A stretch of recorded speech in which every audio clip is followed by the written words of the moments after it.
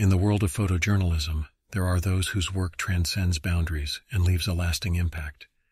Today we'll delve into the life and legacy of one such photojournalist, Kevin Carter. Kevin Carter's story is one of both triumph and tragedy, as he captured the harsh realities of life through his lens. Kevin Carter was born on September 13, 1960, in Johannesburg, South Africa. He grew up in a politically turbulent era which deeply influenced his perspective on life. Carter's journey into photojournalism began as a way to document the injustices of apartheid and the struggles of his fellow South Africans. His early photographs portrayed the harsh realities of apartheid, earning him recognition for his fearless approach to capturing the truth. In the late 1980s and early 90s, Kevin Carter became a part of a group of photojournalists known as the Bang Bang Club, who covered the violence and upheaval in South Africa during the transition from apartheid to democracy. This close-knit group of photographers risked their lives to document the brutality of the time.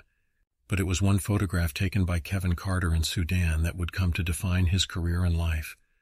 The image of a starving Sudanese child stalked by a vulture shocked the world and won Carter the Pulitzer Prize for feature photography in 1994. However, the photograph also sparked a heated debate about the ethics of photojournalism. Many questioned why Carter didn't intervene to help the child. Carter later expressed deep remorse, explaining that he chased the vulture away but couldn't save the child, who eventually made it to a feeding center. Kevin Carter's life was marked by personal battles. The harsh realities he witnessed and his own inner demons took a toll on his mental health. He struggled with depression and substance abuse, which made it difficult for him to continue his career. Tragically, on July 27, 1994, Kevin Carter took his own life. He was just 33 years old. His death was a stark reminder of the toll that witnessing human suffering can take on the human spirit. Despite the controversies and personal struggles, Kevin Carter's work continues to inspire and challenge us to confront the harsh realities of our world. His photographs serve as a reminder that photojournalism has the power to change lives and ignite important conversations. In the words of Kevin Carter himself, I am haunted by the vivid memories of killings and corpses and anger and pain.